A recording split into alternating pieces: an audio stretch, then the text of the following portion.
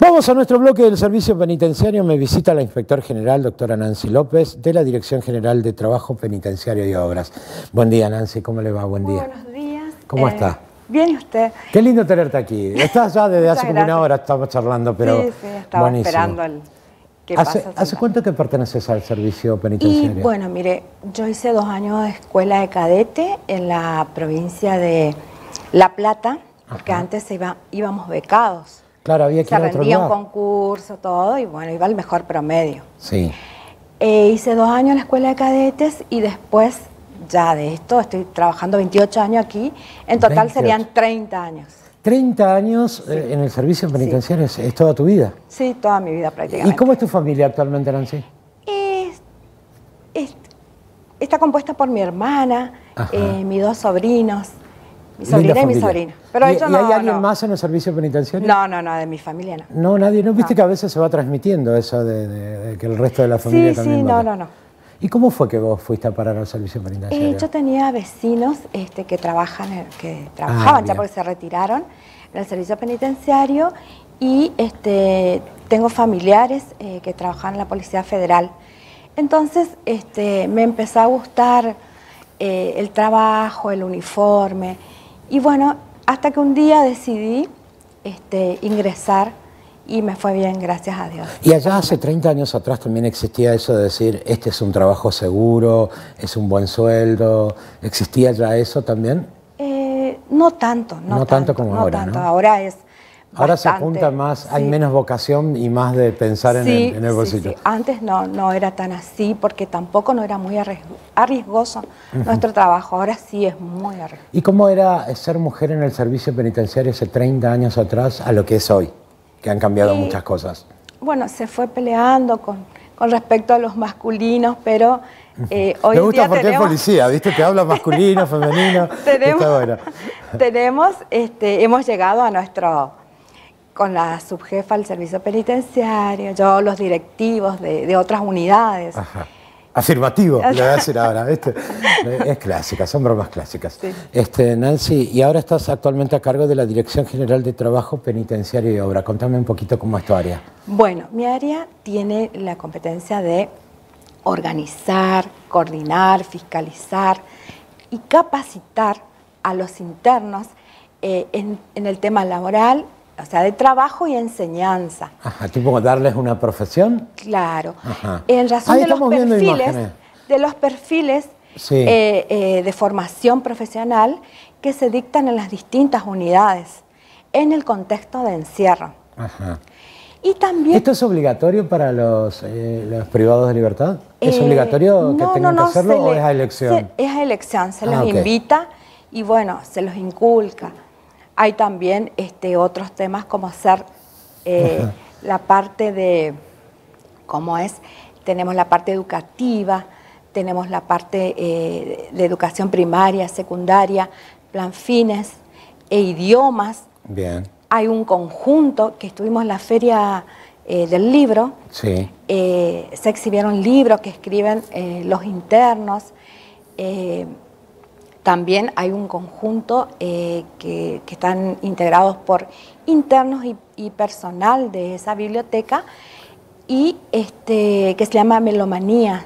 Sí, lo vi. Muy lindo. Sí, estuvo en la Feria del Estuve en Libro. la Feria del Libro. Sí, yo estuve el día de la inauguración eh, con la profesora Ocampo y excelente. ¿Y, y cuál es la, la profesión, por decirlo así de algún modo, que eligen los internos?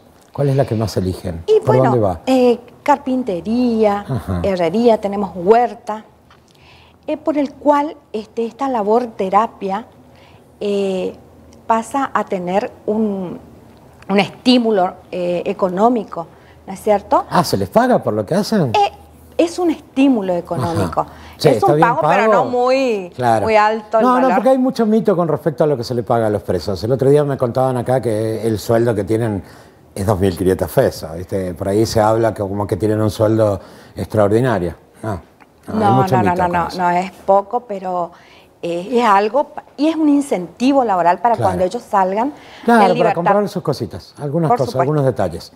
Eh, ¿Y actualmente en qué obras están trabajando? Porque sé que además eh, trabajan en obras propias. O sea... Sí, sí, estamos trabajando eh, actualmente en una obra en el Instituto Pelletier con respecto a los internos que se autoperciben este, mujeres, por ejemplo.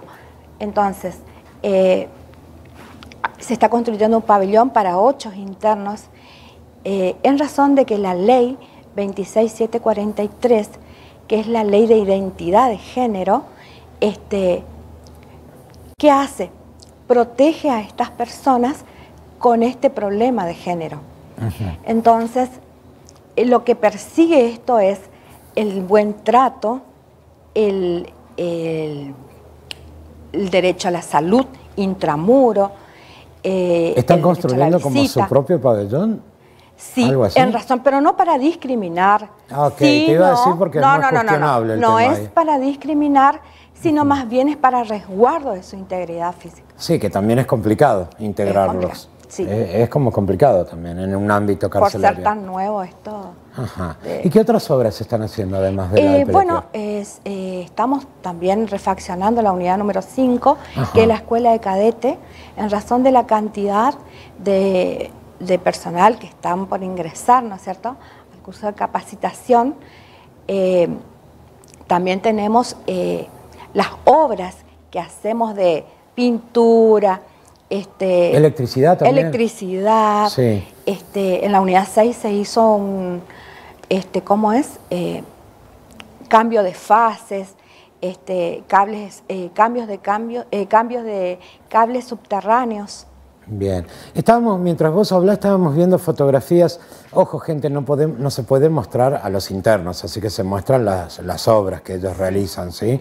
Eh, son obras impresionantes, con, todas con recursos de la provincia, ¿no? Todo con el recurso de la provincia. Contame un poquito más de tu área, Nancy. Eh, ¿Cómo está conformada? ¿Qué, tipo de profesionales tienen allí? Eh, bueno, ahí tenemos este personal de que realizan cursos para estar en ese lugar eh, en razón de que tienen que saber pintura, tienen que saber eh, electricidad, tienen que saber este, eh, cómo es